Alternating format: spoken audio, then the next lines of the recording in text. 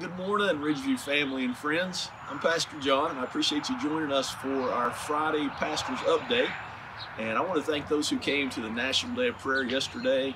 And I, I pray that we'll be praying for our nation and praying for our community and praying for one another. And I want to just give you a few updates. Uh, this coming Sunday will be our drive-in church, and that'll be at 1030 and we're inviting you to come. We're encouraging if you want to get your chairs out, your lawn chairs, and sit in front of your car, or you can go around at, at, over in the field by the parsonage and sit if you'd like. We're going to practice social distancing, but if you would like to get out of the vehicle Sunday, we're going to encourage you to do that. Also, we're going to open up the sanctuary if you need to use the, the bathrooms, the facilities there. Uh, we're encouraging you to social distance just one at a time, but those will be opened as well. So I hope to see you at our drive-in church. There's a survey on our website we're asking you to take if you haven't already.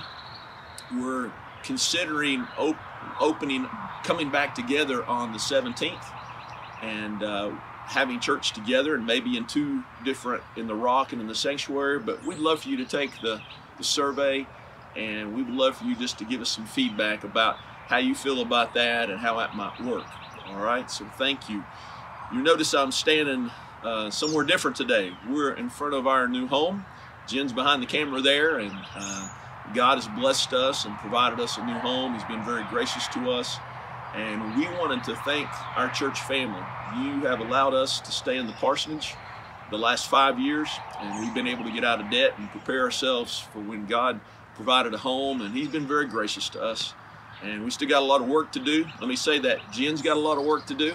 I just go get stuff and bring to her, and uh, we're just we're just so thankful how Ridgeview's been so gracious to us these 14 years, and we just want to say thank you for the last five years letting us stay in the parsonage. And uh, again, this is our new home, and we just want to share that with you how God's blessed us.